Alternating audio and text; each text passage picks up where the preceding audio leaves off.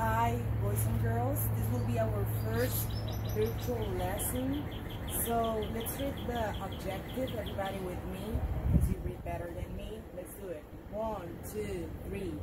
I can determine the solution to problems involving addition and subtraction of time intervals in minutes using pictorial models.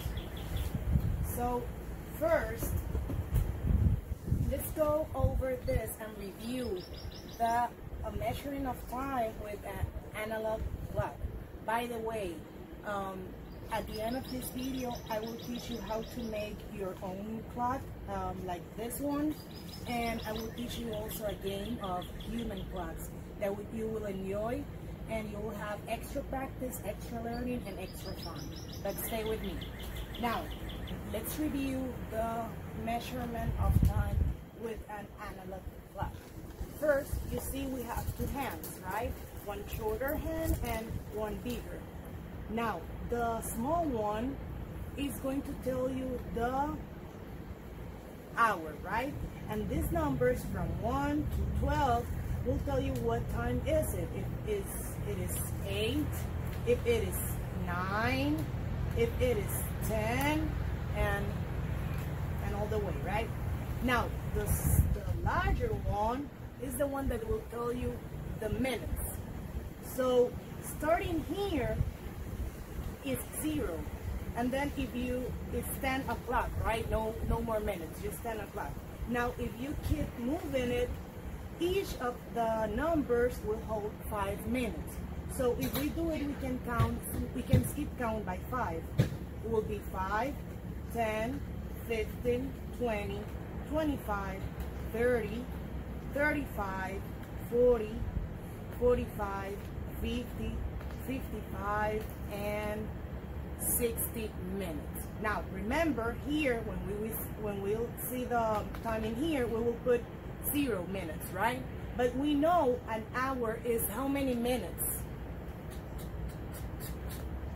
60 minutes. And that's important because you will use that to solve the problems your math problems also remember that half hour half hour is how many minutes well you start here right half halfway is right here.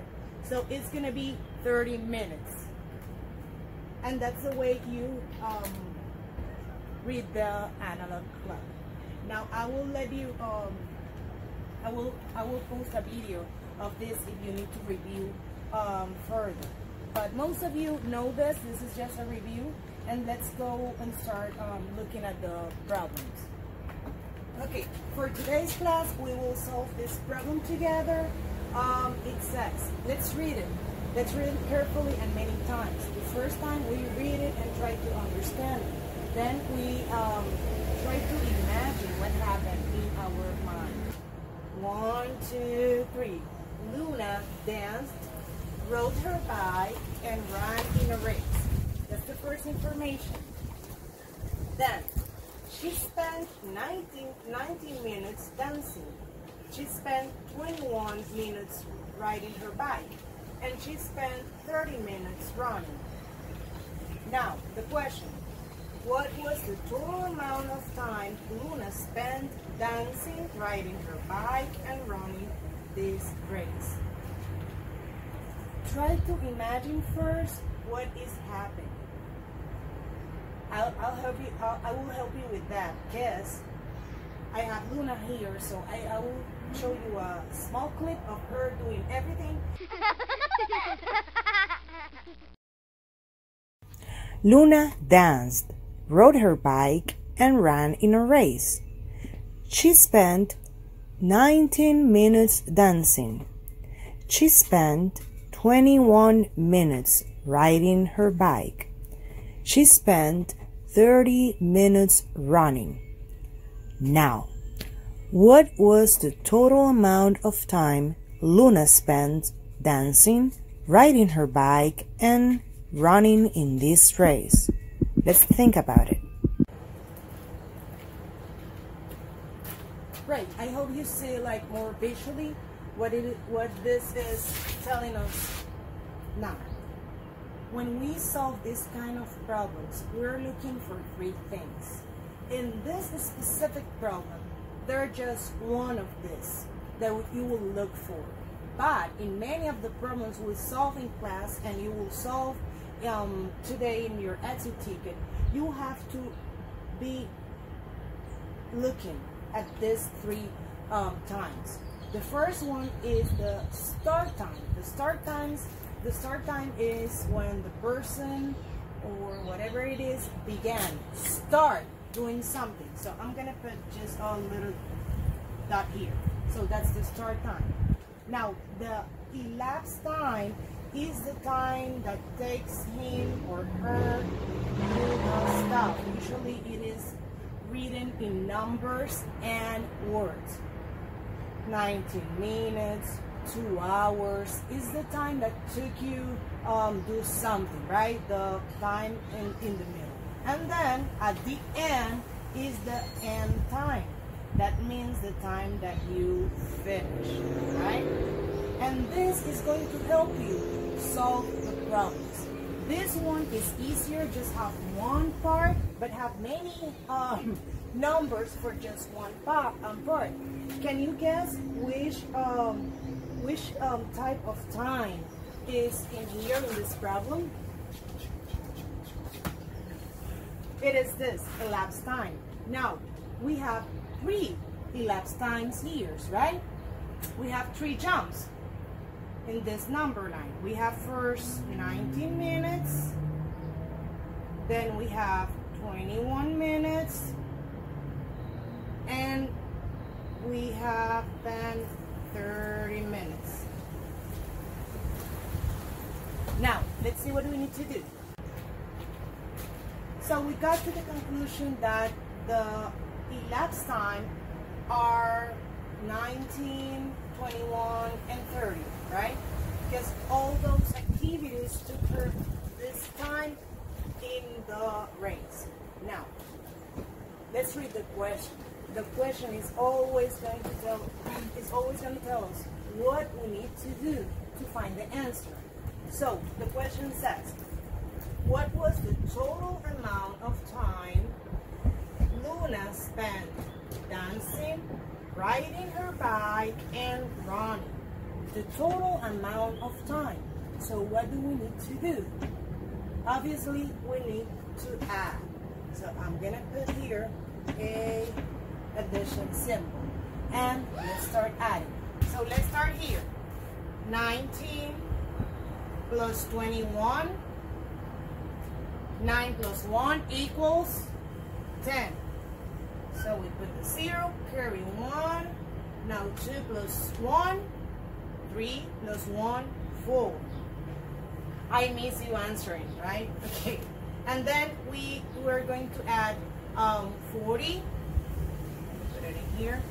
To 30, right? We did this, we did this. Now we are going to do the last one. Plus 30.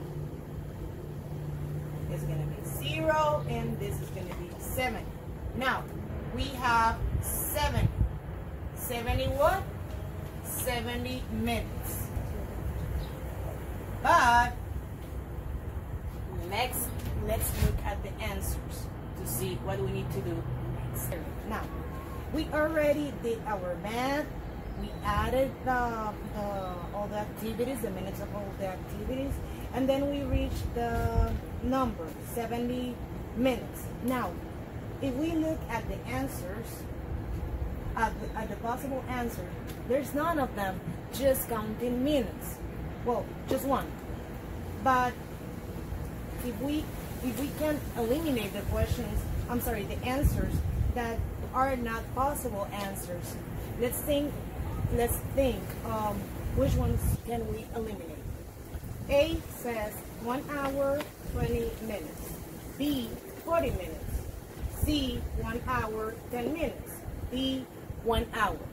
So we already know it's not B, right? Because we know it's 70 minutes, not 40. But 40 is just the first step. That's why it is here. So we can cross out. okay. Now.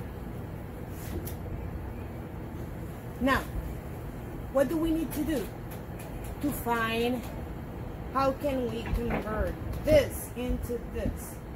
How many minutes um, have a an hour? How many? It has 60, right? So, let's do this. If our answer is 70,